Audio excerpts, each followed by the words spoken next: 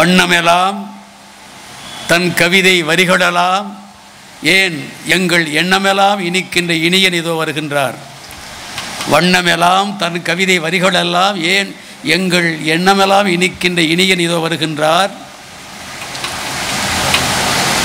கண்ணொடு கண் இணை கவ்வும் அந்த காட்சியினை இனியன் விளக்காமல் இனிக்காது என்பதனால். கண்ணோடு கண் இணை கவ்வும் அந்த காட்சியினை இனியன் விளக்காமல் இனிக்காது என்பதனால் தனி மிதிலை அயோத்தியினை தலைப்பளித்தார் இனியனுக்கு. வல்ல தமிழ் இனியன் வரிக்கு வரி புது கருத்தை சொல்லும் தமிழ் இனியன் சூரிய வழித்தடத்தில் செல்லும் தமிழினியன் வல்ல தமிழ் இனியன் வரிக்கு வரி புது கருத்தை சொல்லும் தமிழினியன் சூரிய வழித்தடத்தில் செல்லும் தமிழினியன் சிந்தனையால் கைத்தட்டல் அள்ளும் தமிழினியன் அடிமனத்தை நகைச்சுவையால் கிள்ளும் தமிழினியன். வல்ல தமிழ் இணையன் வரிக்கு வரி புது கருத்தை சொல்லும் தமிழ் இணையன் சூரிய வழித்தடத்தில் செல்லும் தமிழ் இணையன் சிந்தனையால் கைத்தட்டல் அள்ளும் தமிழ் இணையன் அடிமனத்தை நகைச்சுவையால் கிள்ளும் தமிழ் இணையன் கிளம்பட்டும் முழங்கட்டும். வானச் சிவப்பழகும் கான குழலிசையும் மோனத் தவநிலையும் மூன்றாம் பிறையழகும். ஆனமட்டும் இன்பம் அளித்தாலும் முத்தமிழ் முன் போனதுவே அத்தனையும் பொய். கவியரங்க தலைமையே வேட்டி கட்டி நடந்து வரும் விருத்தமே வீசுகின்ற புயல்கள் உன் விரல் இடுக்கில் குடியிருக்கும். வீசுகின்ற புயல்கள் உன் விரல் இடுக்கில் குடியிருக்கும். உன் எழுதுகோலை திறந்து பார்த்தால் உள்ளே ஏழெட்டு இடியிருக்கும். உன் சந்த கவிதைகளில் நாட்டு சர்க்கரை பொடியிருக்கும். உன் சந்த கவிதைகளில் நாட்டு சர்க்கரை பொடியிருக்கும். நீ இதிகாசத்தை பாடினாலும் அதில் உன் இருவண்ண கொடியிருக்கும் அன்றொரு நாள் இங்குதான் சொன்னேன். கம்பன் கழக மேடையும் உன் கழக மேடையும் ஒன்றுதானோ உனக்கு? கம்பன் கழக மேடையும் உன் கழக மேடையும் ஒன்றுதானோ உனக்கு? இரண்டிலும் சூரிய குலத்தவனைத்தானே பாடிக்கொண்டிருக்கிறாய் இரண்டிலும் அண்ணனை பற்றித்தானே அதிகமாக பேசுகிறாய். குகன் சுக்ரீவன் விபீடனன் என்று சகோதரர்களாக்கி சமூக நீதி பேசுகிறாய் இரண்டிலும். கம்பங்களில் கொடியேற்றுகிற நீங்கள். கம்பங்களில் கொடியேற்றுகிற நீங்கள் இன்று கம்பன் கொடியேற்றுகிறீர்கள் கம்பக்கொடியோ கயிற்றுக்கொடி. கம்பக்கொடியோ கயிற்றுக்கொடி கம்பன் கொடியோ ராமாயண சிசுவுக்கு ரத்தம் தந்த வயிற்றுக்குடி.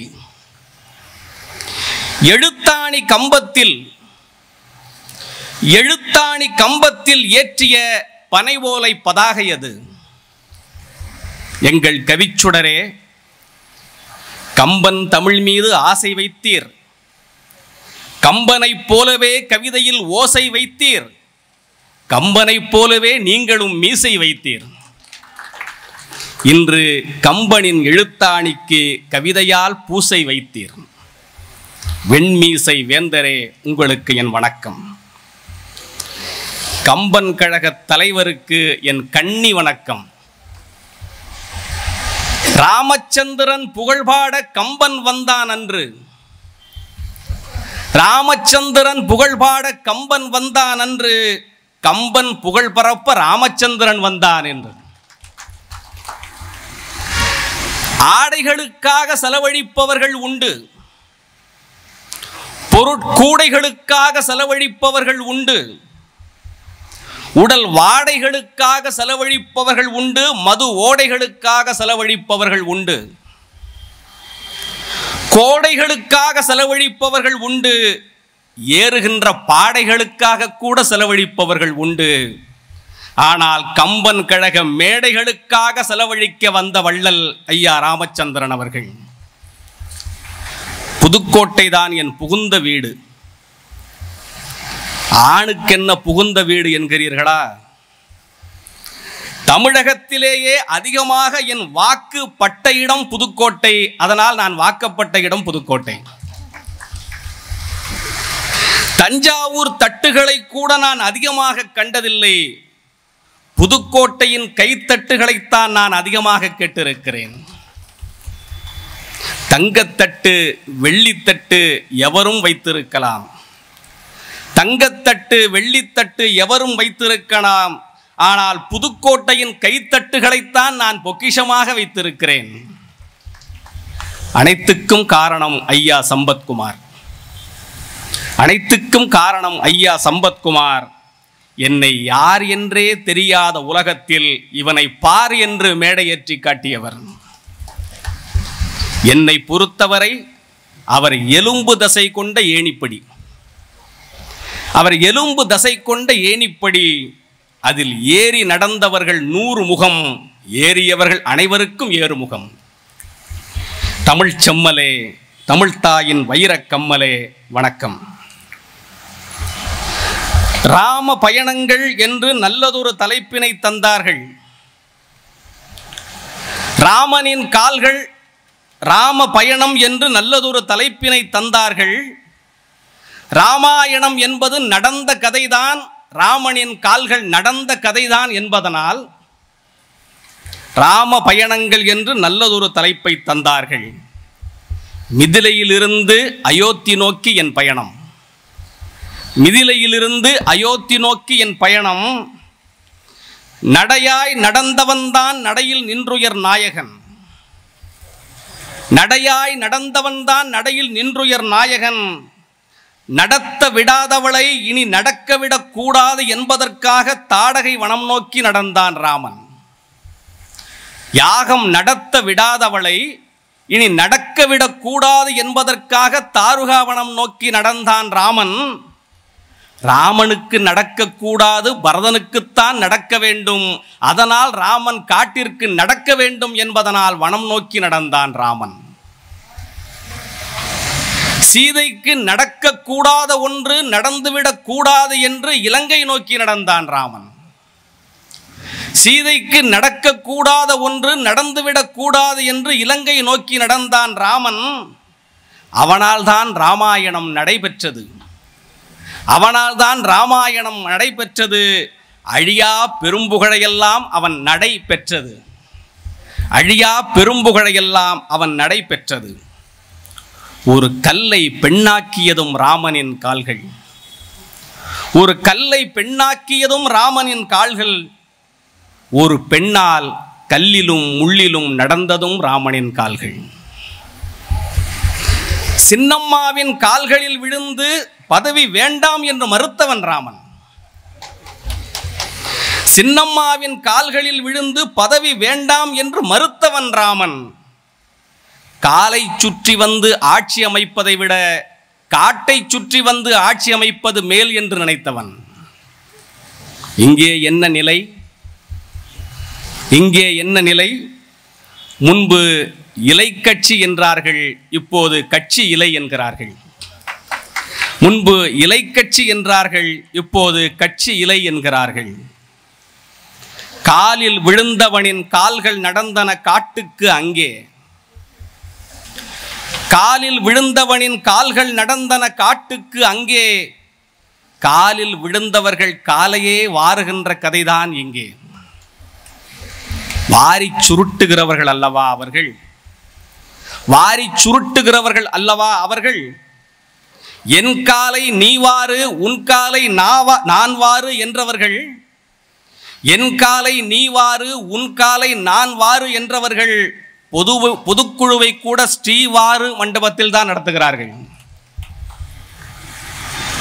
தாடகையை வதம் செய்து மிதிலைக்கு வந்த ராமன் தாடகையை வதம் செய்து மிதிலைக்கு வந்த ராமன் சீதையினும் தாரகையை மணம் செய்து அயோத்திக்கு புறப்பட்டான். ராம நம்புகள் தாடகையை வீழ்த்தியது அங்கே. ராம நம்புகள் தாடகையை வீழ்த்தியது அங்கே. காம நம்புகள் ராமனையே வீழ்த்தியது இங்கே. காம நம்புகள் ராமனையே வீழ்த்தியது இங்கே. ராமனின் கண்ணில் சீதை எனும் பூ விழுந்தது. ராமனின் கண்ணில் சீதை எனும் பூ விழுந்தது. கண்ணில் பூ விழுந்தால் நோய் என்கிறது மருத்துவம். கண்ணில் பூ விழுந்தால் காதல் என்கிறது மன்மதம்.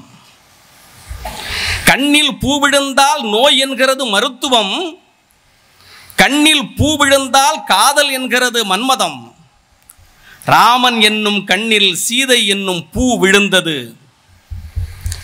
மழைவண்ணன் மேனியிலேயே தீ எழுந்தது. மழைவண்ணன் மேனியிலேயே தீ எழுந்தது. பேசுகின்ற தன்மையினை நா இழந்தது.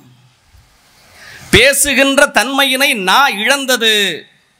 சீதை எனும் தேன் குடத்தை சுற்றி சுற்றி அவன் இதயம் என்னும் ஈ பறந்தது. ஏர்முகத்தில் பிறந்தவளாம் சீதை.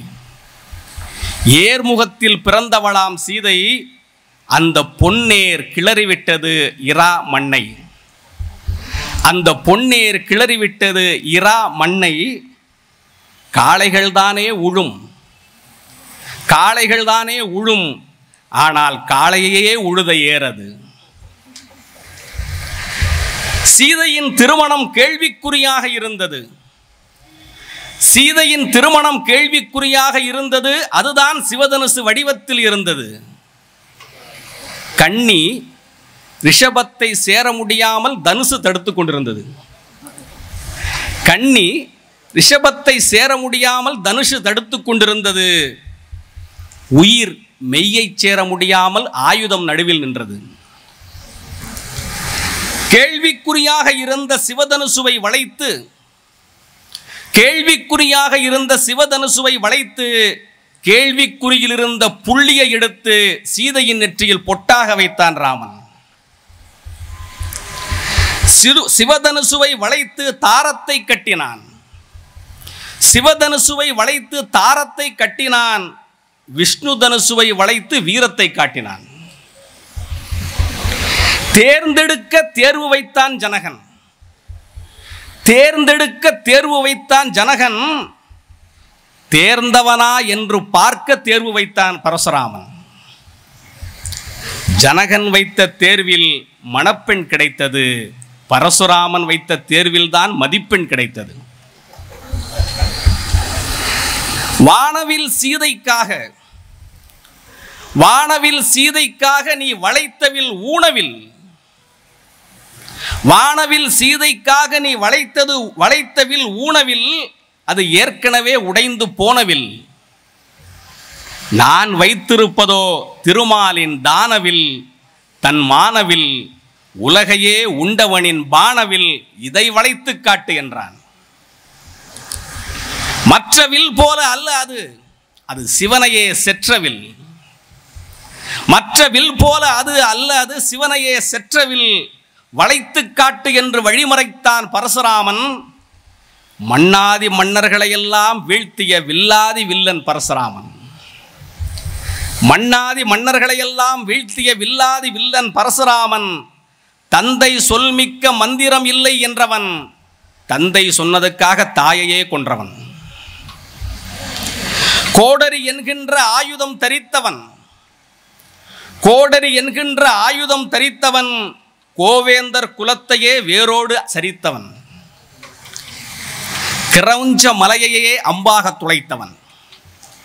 கிரௌஞ்ச மலையையே அம்பாக துளைத்தவன். அவன் கம்பன் கவியாலே காலமெல்லாம் நிலைத்தவன்.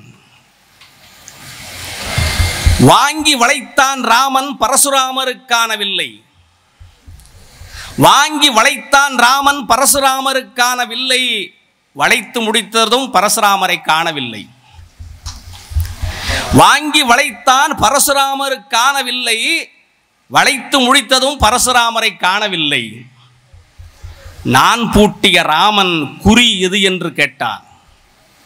நான் பூட்டிய ராமன் குறி எது என்று கேட்டான். உன் நான் பூட்டிய குறி நான் என்றான் பரசுராமன். உன் நான் பூட்டிய குறி நான் என்றான் பரசுராமன். நான் என்னும் அகந்தை அது வெறும் அழுக்கு கந்தை. நான் என்னும் அகந்தை அது வெறும் அழுக்கு கந்தை என்னும் செய்தியை அம்பு தொடுக்காமலேயே தைக்கச் செய்தா என்று தவத்தையெல்லாம் தந்து சென்றான் பரசுராமன். இருவில் உருவில் கம்பன் சொல்லும் தகவல் என்ன தெரியுமா? இருவில் உருவில் கம்பன் சொல்லும் தகவல் என்ன தெரியுமா? ஒவ்வொருவரும் வாழ்க்கையில் வளைக்க வேண்டியது இருவில். ஒவ்வொருவரும் வாழ்க்கையில் வளைக்க வேண்டியது இருவில் ஒருவில் அகவில் மறுவில் புறவில். ஒருவில் அகவில் மறுவில் புறவில். ஒன்று காதலை தொடுக்கும் கரும்புவில். ஒன்று காதலை தொடுக்கும் கரும்புவில் மற்றொன்று வீரத்தை தொடுக்கும் இரும்புவில். காதல் வில் நமக்கு யாரென்று காட்டுவது? காதல் வில் நமக்கு யார் என்று காட்டுவது? வீரவில் நாம் யார் என்று காட்டுவது? காதல் வில் இதயங்களை குறிவைக்கும். காதல் வில் இதயங்களை குறிவைக்கும். வீரவில் லட்சியங்களை குறிவைக்கும். காதல் வெல்வது போல் தோற்பது. காதல் வெல்வது போல் தோற்பது. வீரம் தோற்பது போல் வெல்வது. காதல் என்பது தாரம். காதல் என்பது தாரம். இன்றைக்கு வீரம் என்பது பொருளாதாரம். இந்த தாரம் இந்த இரு தாரம் தான் வாழ்வின் ஆதாரம். இரு தாரம் என்றால் நான் சொன்ன இரு தாரம். இந்த இரு தாரம் தான் வாழ்வின் ஆதாரம் என்று ஒரு தாரமாய் சொன்னது ராமனின் அவதாரம். அகவில் புறவில் இந்த இருவில்தான் வாழ்வின் திருவில். அகவில் புறவில் இந்த இருவில் தான் வாழ்வின் திருவில். அதனால்தான் கம்பன் அவற்றை வைத்தான் ராமாயணத்தின் கருவில். நன்றி வணக்கம்.